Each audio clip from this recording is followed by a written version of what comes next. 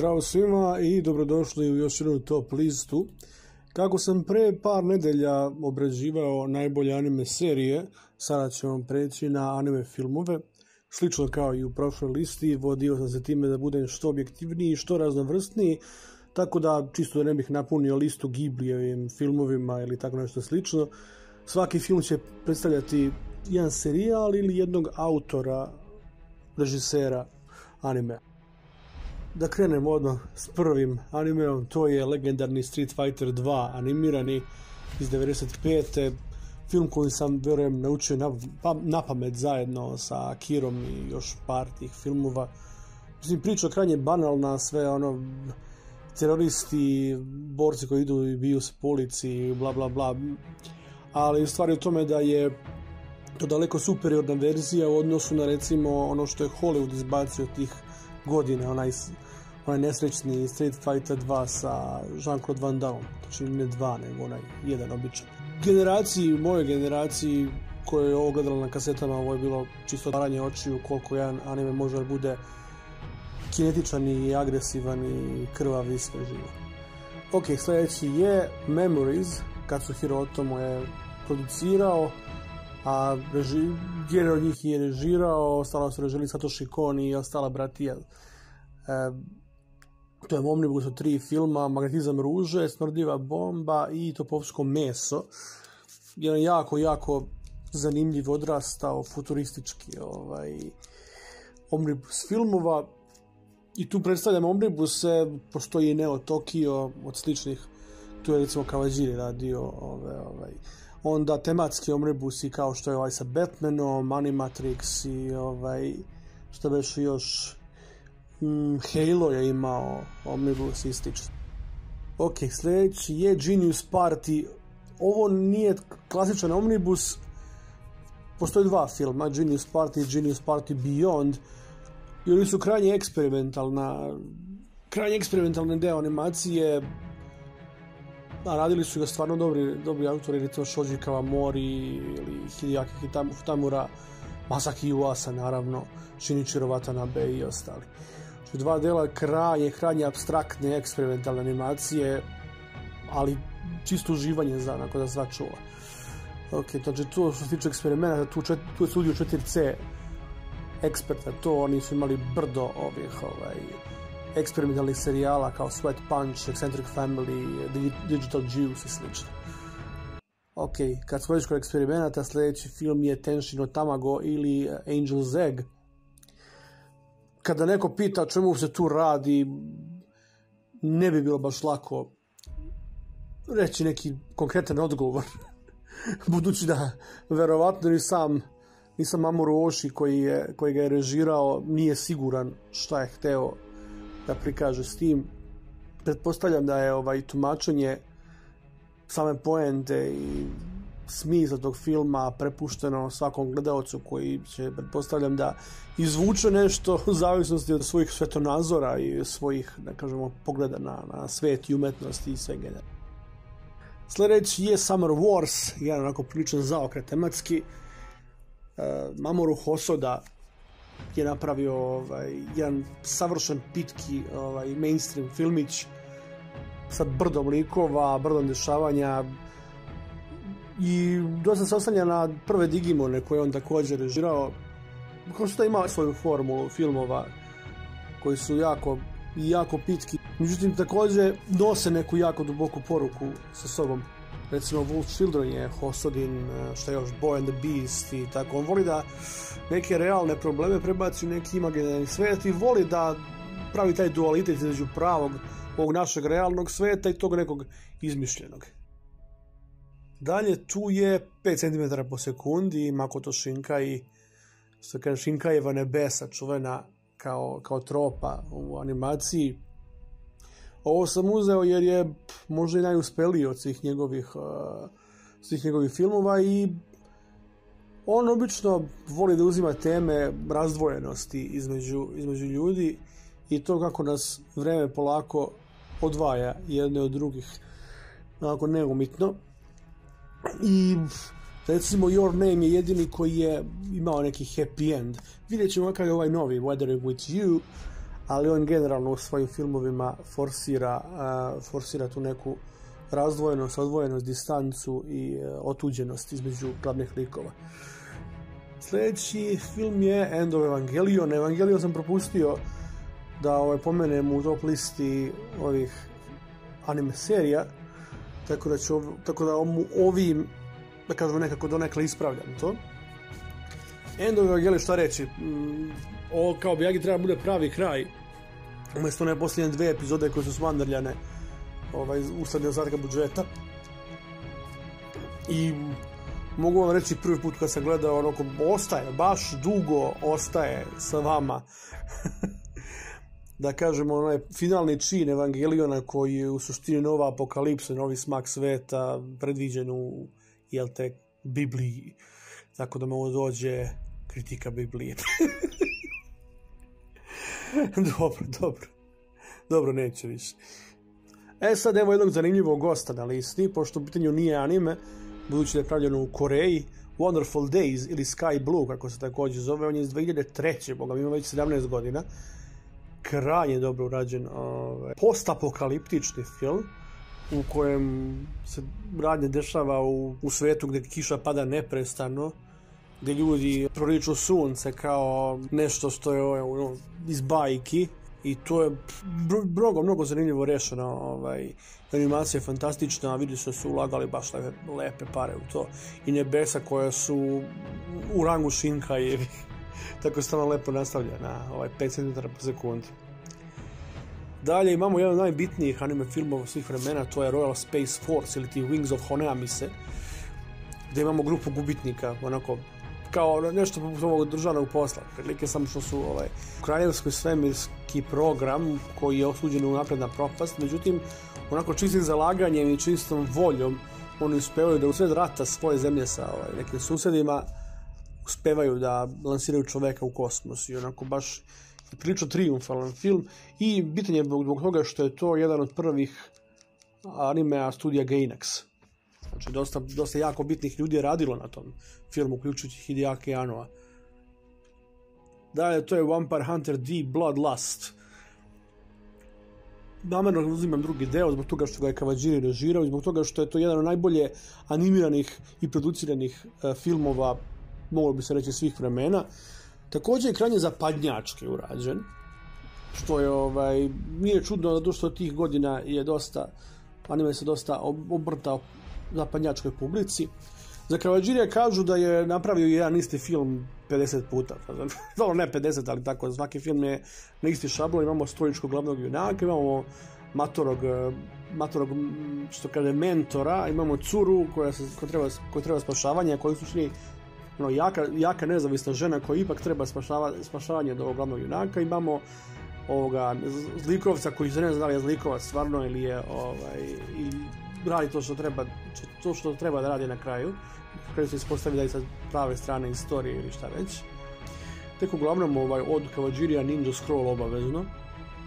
Ninja Scroll i u suštini sve što je sve što je uradio je na sličnu forum. Wicked City je njegov sa onom ženom paukom, to je, po tome ćete ga zapamtite. Demon, Demon City Shinjuku, Cyber City Oedo isto, znači baš voli čovjek cyberpunk isto koliko i ovu, ovaj, koliko i alternativnu istoriju. Sljedeći je Yuasin Mind Game. Ne, nemoguće pričati o čemu se radi tu. jako, jako utripovano, ovaj, utripovan anime. Yuasa baš, ovdje, ga, ovdje su ga baš pustili sa lanca i baš ume da, ovaj, ume da opali čoveka po, onako prilično onim što prikaže od Joase što ima još, ovaj, Del Toro Night, Night is Short, Walk on Girl je fenomenalan, uh, Lou Over the Wall je isto jako dobar Joasin. Mm, šta još ovako sa vrh glave?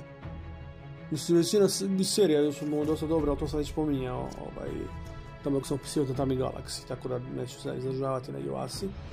Sljedeći je Red Line, Red Line je ono, ajde da ga merimo svim anime studijima, otprilike mm, jedan od najbolje animiranih film, animiranih filmova svih vremena sa nenormalnim produkcijskim vrednostima i onako baš bačena rukavica svima ovaj, svima kao, evo, vidite šta možemo, da, šta mi zapravo možemo, koliko zapravo možemo da, da animiramo. Ovaj, režiser je Takeshi Koike, ga stalno nešto zakazao Koike, koji je napisao Lone Wolf and Cub.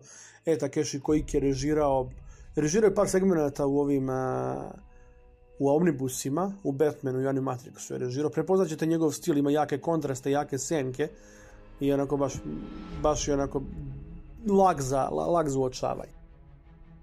Ok, sljedeći Satoshi Kon Perfect Blue, jedno od posljednjih iznenađenja koje mi je anime priredio. Stvarno se svašta očekivao, ali ono nisam.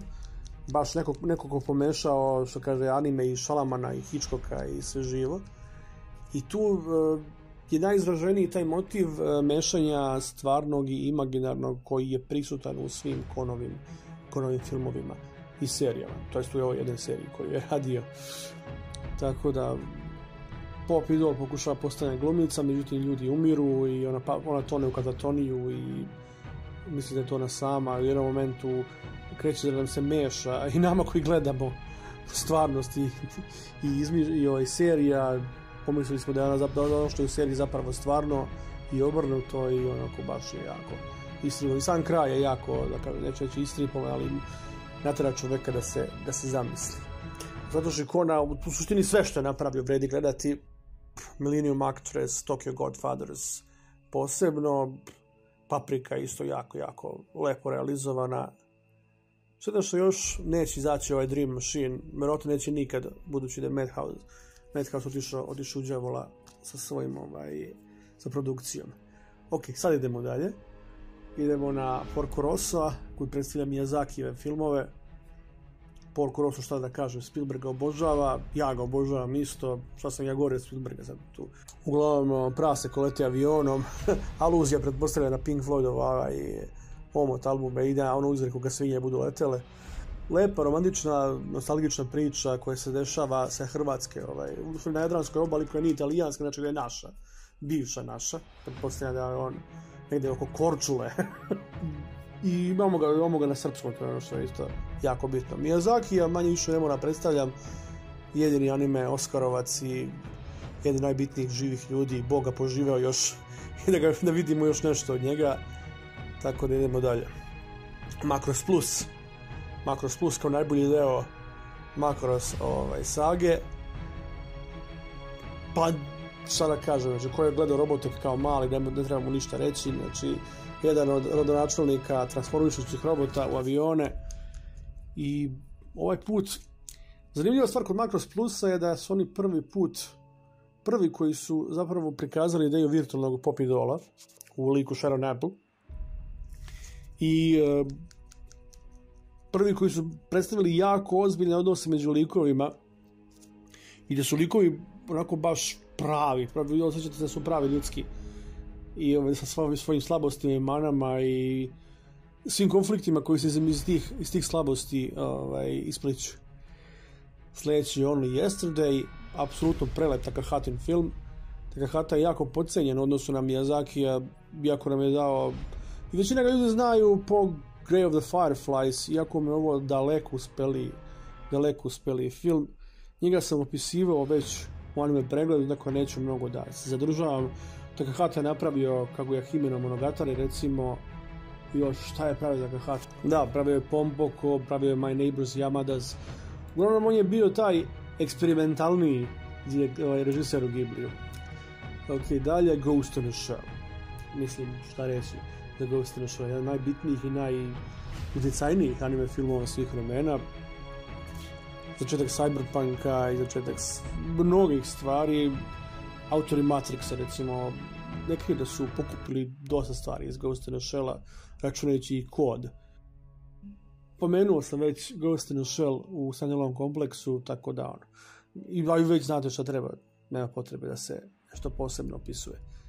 Dalje Akira, Akira kultni rađen po kralju mangi. Među najboljim mangama svih vremena, Akira pati malo od toga što su pokušali da sabiju 2000 strana stripa u oko dva sata filma, tako da su neke stvari zbrzane, ali dalje stoji da je jedan od najtriumfalnijih, najvećih triumfa japanske animacije do dana današnjeg.